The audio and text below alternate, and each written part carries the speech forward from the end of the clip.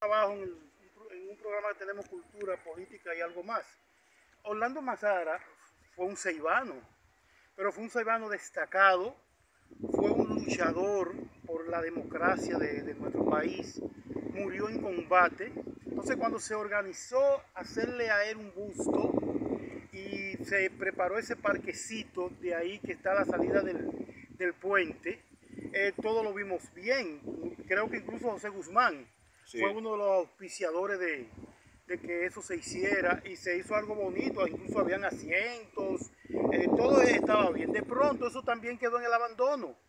Eh, eso incluso nosotros sugeríamos que el, el- el- ayuntamiento debe de eh, restaurarlo, cercarlo, ponerle luces, ponerle eh, los, los- los bancos, están todos descabezados, no sé si fue que se robaron esa, esa parte. Al parecer sí. Sí, al parecer, volver a restaurar los bancos, limpiarlo, eh, ponerle eh, en un cuidador a, a ese lugar que además sirve de, de- como de, de- de- de descanso, de la gente de, de cualquier lugar pueden pararse ahí porque además se convierte, eso es un área verde, porque y tiene una vista preciosísima hacia el, hacia el río.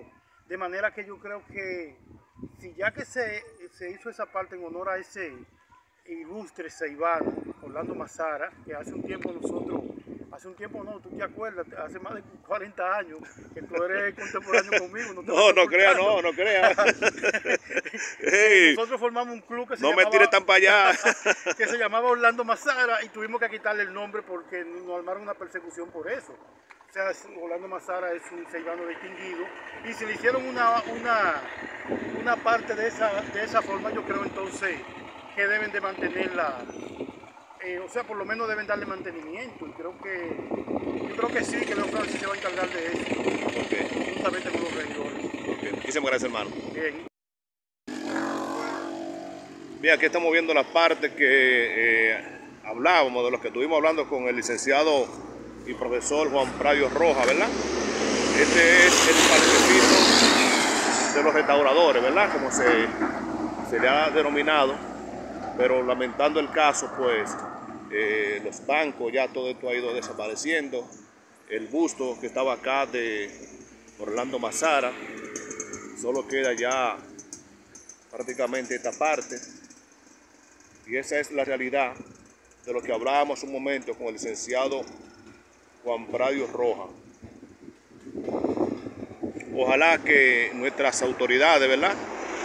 Nuestras- Nuestras autoridades municipales tomen carta en el asunto con relación a este parquecito que será denominado, le han denominado Parque de los Restauradores, ¿verdad?